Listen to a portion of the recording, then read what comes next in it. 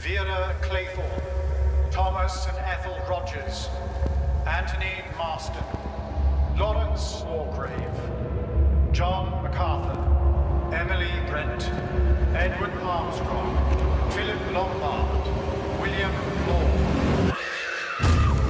How do you plead? Agatha Christie's And Then There Were None on BBC One.